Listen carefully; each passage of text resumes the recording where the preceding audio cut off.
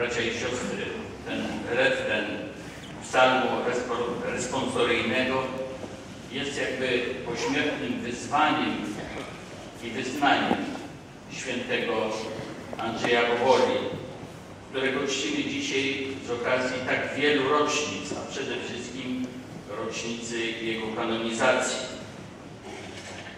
Święty Andrzej i jego życie, postać tak pełna, tak e, wyjątkowa, tak e, wielowątkowa, jest zawsze i stosunkowo mało jeszcze znana w naszym kraju, a przecież jako patron Polski, patron metropolii warszawskiej i patron wielu innych dzieł kościelnych zasługuje na dużą lepszą znajomość, tym bardziej, że życie każdego świętego jest niewątpliwie miejscem teologicznym, a więc tym miejscem, z którego bije jakieś nowe światło, jakaś Boża inspiracja pochodząca od Ducha Świętego, inspiracja, która znalazła wcielenie w życiu konkretnego człowieka i w konkretnych warunkach czasu i przestrzeni.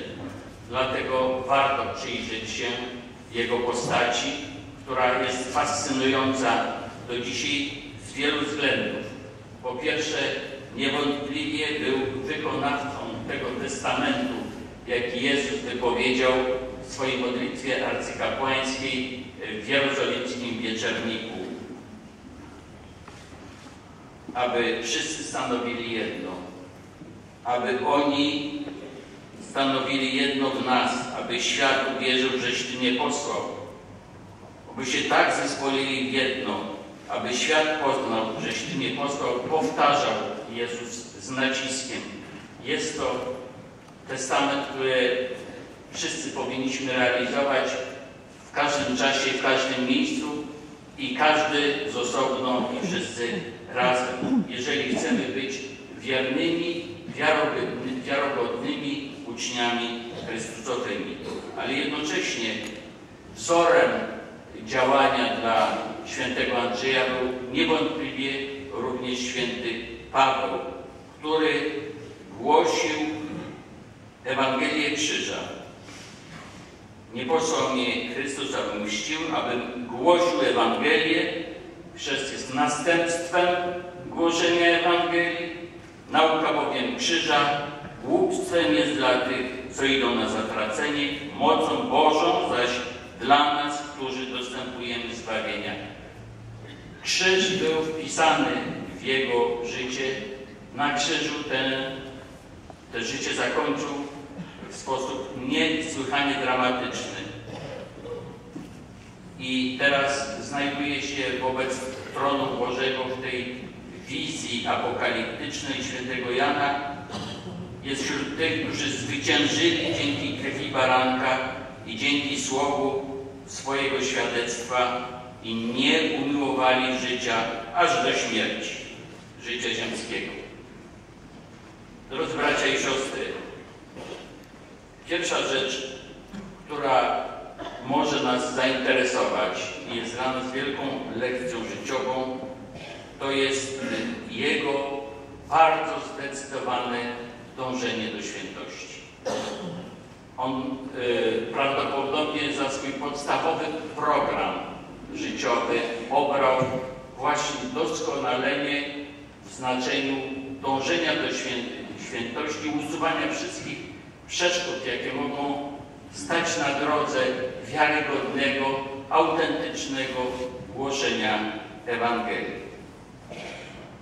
Dzięki jego wychowawcom, między innymi Mikołajowi Łęczyckiemu, który był prowincjalem jezuitów w 1633 roku, wiemy, że był oceniany według antropologii, tej typologii psychicznej, humoralnej, jak ją nazywamy, że miał temperament choleryczny z domieszką sanguinistycznego. I sam miał świadomość, że nie urodził się świętym.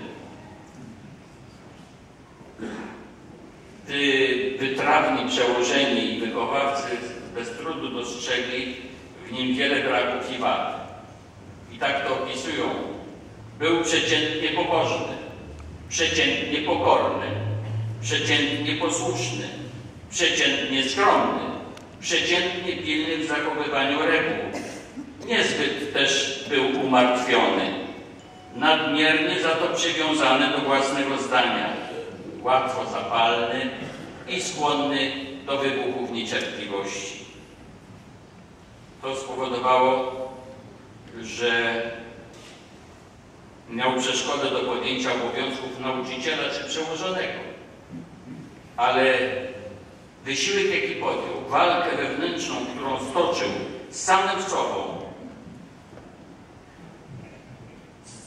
e, e, spowodował, że osiągnął postęp miłości bliźniego w umiłowaniu bóstwa zakonu i zasłużył na innego typu komplementy kilka lat później. Nieprzeciętnie zdolny.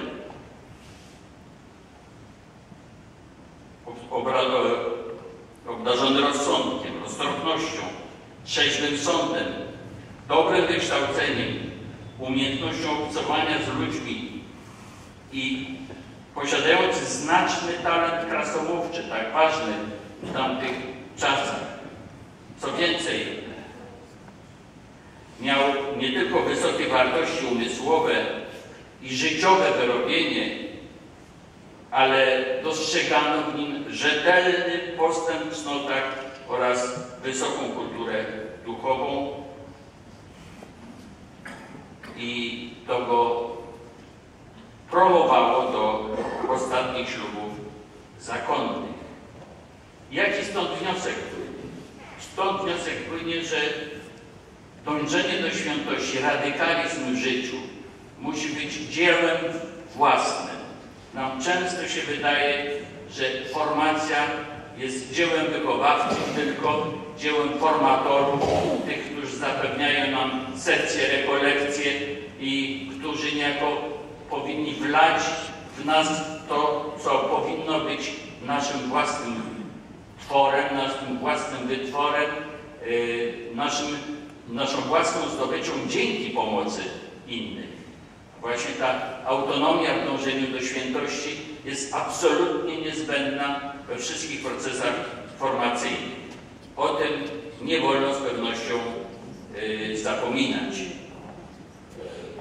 Kiedy po 27 latach uporczywej pracy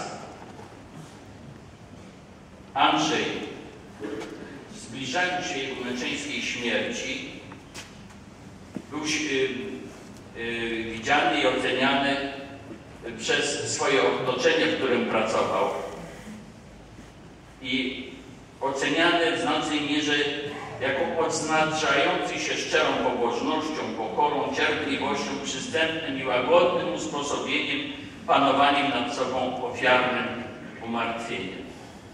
Transformacja bardzo głęboka w stosunku do tych Y, cech wyjściowych, o których słyszeliśmy.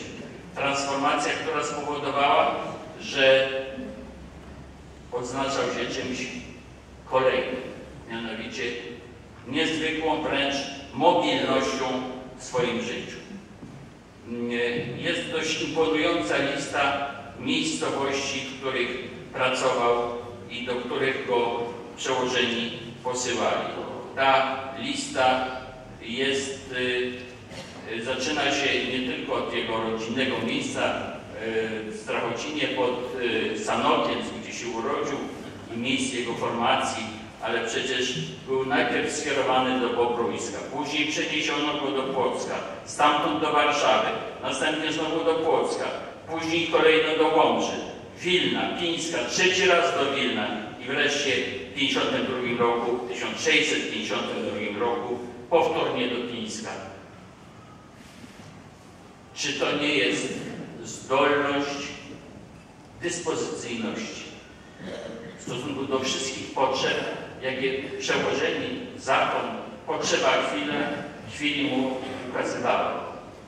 Jest to też rzadka dzisiaj cecha, żeby ktoś miał aż tak daleko posuniętą dyspozycyjność i gdy bez szemrania podejmuje się podjęcia następnych wyzwań i zadań.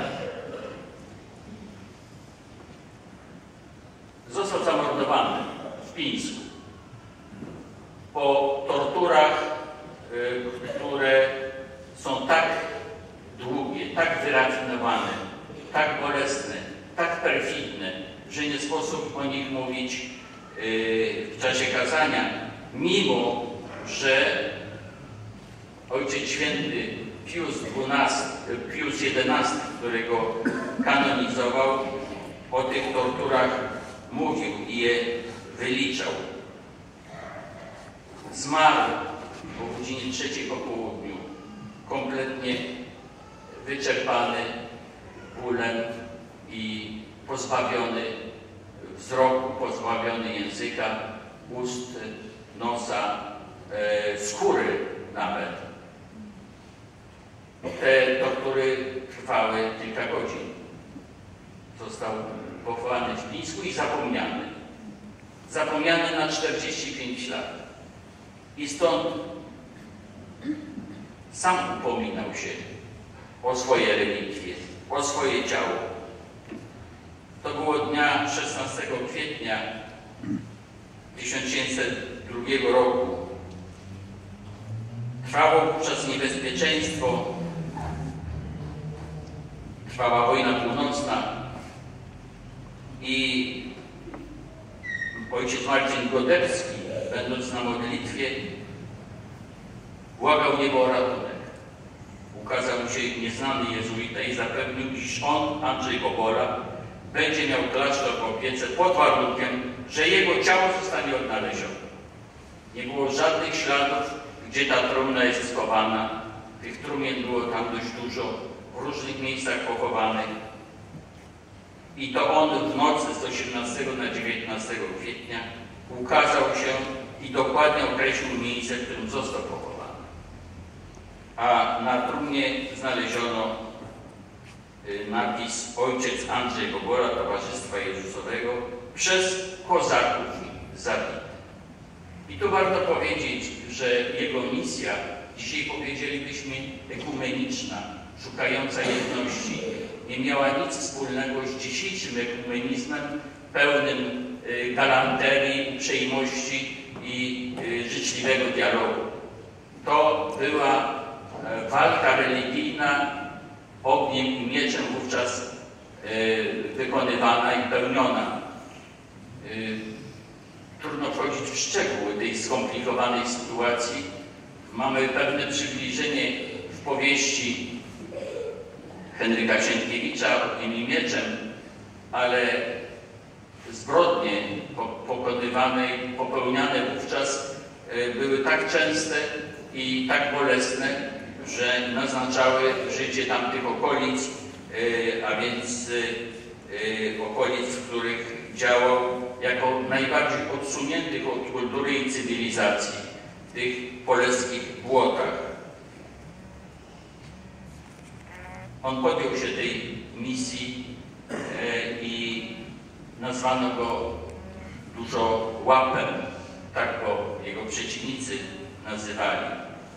Po śmierci, gdy nie tylko upomniał się o swoje szczątki doczesne, które okazało się po 45 latach były zupełnie nienaruszone, były zupełnie świeże, mm, wówczas stał się też poprzez swoje relikwie, gdzie one były obrońcą i ochroną e, ludzi, którzy tam przebywali. W latach 709-710 straszna zaraza pochłonęła tysiące ofiar.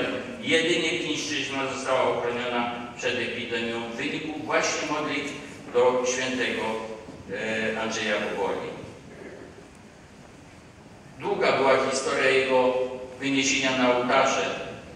To Benedykt XIV w 1755 roku wpisał Andrzeja Bobolę na listę męczenników za wiarę, ale znowu mimo starań nawet króla polskiego Stanisława Augusta Poniatowskiego, który przyjął zobowiązanie y, Sejmu y, Konstytucyjnego, starać się będziemy wynieść wniesie instancję do stolicy apostolskiej o beatyfikację Andrzeja Boboli, ta beatyfikacja szybko nie nastąpiła.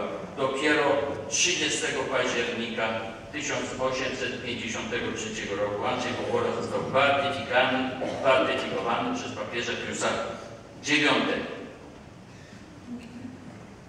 Tak jak za życia był mobilny, tak mobilne różnie były historie jego relikwii, które z Pińska, znajdującego się po rozbiorach na terytorium e, Rosji, rozkazem carycy Katarzyny II zostały przekazane prawosławnym zakonnikom, następnie przewieziony z Pińska do Połocka, tam 30 e, stycznia 1808 roku otaczane szacunkiem i czcią.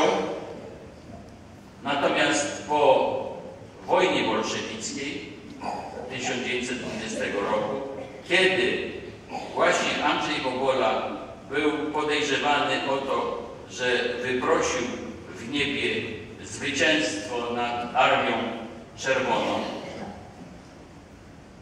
kiedy to Aleksander Karkowski, kardynał Aleksander Karkowski postanawia szukać pomocy u błogosławionych Władysława z Gielniowa i Andrzeja Boboli, zarządza wtedy nowenny do błogosławionych, a po modlitwach w kościołach Warszawy urządzano z ich relikwiami procesje ulicami miasta i w ostatni dzień noweny zdarzył się cud nad Wisłą. Dlatego to właśnie Sowieci w 1922 roku życia w Połocku y, zabrali y, trumny z relikwiami, ciało obnażone i rzucono nim o posadzkę. Zwłoki się nie rozsypały, dalej były w swoim integralnym y, aspekcie. Zabrano je do Moskwy i umieszczono w gmachu higienicznej wystawy Ludowego Komisariatu Zdrowia. To właśnie ten y, Komisariat Zdrowia y, zajmował się między innymi konserwacją mumii towarzysza Lenina. A przed jego ciałem tam ludzie się zatrzymywali i się modlili. Ukryto w związku z tym ciało w magazynach. Ale upomniał się o relikwie świętego Andrzeja, Pius XI, Achilles Ratti, który był przecież konsekrowany biskupem w warszawskiej katedrze i rząd radziecki za pomoc żywnościową po głodzie, który wybuchł, zgodził się na wydanie relikwii papieżowi pod warunkiem, że ciało nie zostanie przewiezione przez Polskę. A więc przez Odessę i Konstantynopol trafiło do Rzymu, do wiecznego miasta, gdzie przybyły te relikwie uroczystość wszystkich świętych. Złożono je w Bazylice Świętego Piotra w Watykanie, a e, w maju tegoż roku papież przekazał ciało jezuickiemu kościołowi del Gesù. Nastąpiła kanonizacja dopiero e, w 1938 roku, kiedy obradujący często biskupi polscy już za panowania papieża Benedykta XV wystosowali gorącą prośbę o kanonizację, ta kanonizacja miała miejsce dopiero w dużo późniejszym czasie. Mianowicie był to rok 38 i e, relikwie zostały przewiezione do Polski po kanonizacji przewiezione je przez Jugosławię, Węgry, Czechosłowację do Polski. W triumfalnej oprawie pojechały przez Czechowicze, Oświęcim, Kraków, Katowice, Poznań, Łódź do Warszawy. To było ogromne, ogromne święto w całej Polsce, ogromna cześć oddawana temu właśnie świętemu. Stolica powitała je relikwie 17 czerwca 1938 roku. Prezydent Ignacy Mościcki złożył na trumnie z relikwiami jako wodą swój krzyż niepodległości z mieczami i przez trzy dni tysiące mieszkańców stolicy i nie tylko stolicy oddawały hołd relikwiom męczennika walki w katedrze świętego Jana. I 20 czerwca przewieziono je uroczyście do kaplicy jezuitów przy ulicy Rakowieckiej. Wybuchła druga wojna światowa. Relikwie zostały dla bezpieczeństwa przewiezione na Stare Miasto do sanktuarium Matki Łaskawej. W czasie powstania całe Stare Miasto uległo zrujnowaniu i wówczas przeniesiono jeszcze raz powstańcy przynieśli trumnę z relikwiami do kościoła świętego Jacka na ulicy Freda, do księży dominikanów, by wreszcie w lutym 1945 roku powrócić tutaj na ulicę Rakowiecką, gdzie spoczęły w Dolnej Kaplicy. Pamiętam, bo jako dziecko bywałem w tych okolicach w pierwszej połowie lat 50., jak bardzo magnetycznym miejscem była Rakowiecka właśnie ze względu na obecność męczennika świętego e, Andrzeja Boboli i tutaj przychodziło się z ogromną atencją i nabożeństwem w stosunku do tego wielkiego człowieka, który 16 maja 2002 roku został ogłoszony patronem Polski. Przybycie relikwii świętego Andrzeja e, było również wielkim przeżyciem dla Karola Wojtyły. Powiedział on, że w roku 1938 byłem naocznym świadkiem powrotu męczennika do ojczyzny, albowiem jego trumna, jego relikwie wracały do Polski poprzez różne miasta, m.in. Kraków, zanim dotarły do Warszawy. I pamięć tego spotkania ze świętym męczennikiem pozostaje dla mnie niezatarta. Jest to znak. Znak, jakim jest święty Andrzej Gogola. Jest znakiem prorockim. Co więcej, w nim jest jakaś zapowiedź spotkania się chrześcijan z zachodu i ze wschodu. Jest y, prekursorem, zapowiedzią dojrzałego owocu zjednoczenia chrześcijan wysiłku ekumenicznego, który dzisiaj kontynuujemy, pod jego również y, możnym orędownictwem. Mówi Ojciec Święty, że Bóg pozwolił świętemu Andrzejowi stać się znakiem, znakiem nie tylko spraw przeszłych, ale także i spraw, na które czekamy, do których się przygotowujemy, znakiem nie tylko tego, co dzieliło i dzieli, ale dzieliło aż do śmierci męczeńskiej, ale także tego, co ma łączyć. Kościół, uroczystość świętego Andrzeja Powoli modli się właśnie o to zjednoczenie chrześcijan, żeby byli jedno, tak jak Ty, Ojcze, we mnie, a ja Tobie. Niech te słowa błogosławionego Jana Pawła II będą dla nas drogowskazem dzisiaj radykalnego dążenia do świętości, posłuszeństwa natchnieniem Ducha Świętego i naszych prawowitych przełożonych w życiu kościelnym, ale również tych, którzy w życiu społecznym y, działają dla dobra wspólnego. Niech też On będzie dla nas przykładem, że nie może za, zaniknąć pamięć o Nim, bo również w Warszawie. I tak jak obnoszono triumfalnie Jego trumnę w uroczystym ingresie do Warszawy, tak niech On będzie obnoszony w naszych sercach, naszych osobach, ale i też od czasu do czasu we wspólnej procesji na ulicach naszego miasta. Niech święty Andrzej Gogola będzie dla nas ochraniającym nas przed konfliktami, przed kłótniami, przed nieporozumieniami, patronem, który wyprasza nam dobro teraz i w przyszłości.